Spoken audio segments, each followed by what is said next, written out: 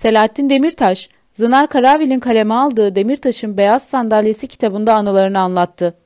Edirne cezaevinde tutuklu bulunan eski HDP eş genel başkanı Selahattin Demirtaş'ın uzun süre basın danışmanlığını üstlenen Zınar Karanvil'in kaleme aldığı Demirtaş'ın Beyaz Sandalyesi dipnot yayınlarından çıktı.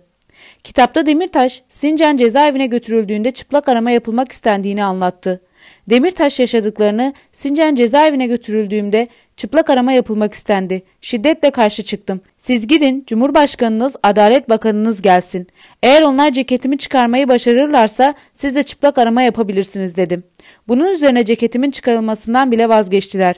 Böylece arama yapılmadan sadece X-ray cihazından geçerek cezaevine girdim sözleriyle aktardı.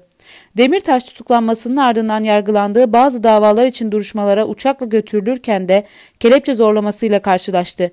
Her defasında 30 kadar rütbeli jandarma görevlisinin kendisine eşlik ettiğini belirten Demirtaş, yaşadığı bir kelepçe dayatması ile ilgili ise şunları anlattı.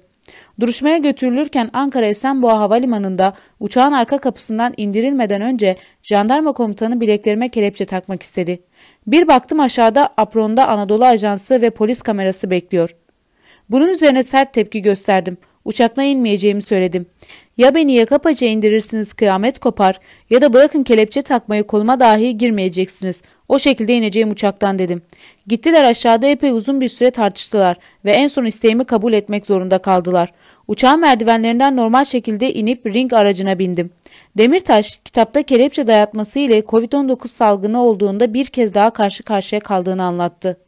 Aşı için hastaneye götürülmek istendiğinde kelepçe takmaktansa Covid'den ölmeyi tercih ederiz dediğini ve cezaevine geri döndüğünü söyledi. Demirtaş 15-20 gün sonra kelepçesiz götürülerek aşısına olabildi. Bağımsız yayınlarımızın devamı için Dürüst Bakış kanalımıza abone olup videoyu beğenmeyi ve yorumlamayı unutmayalım.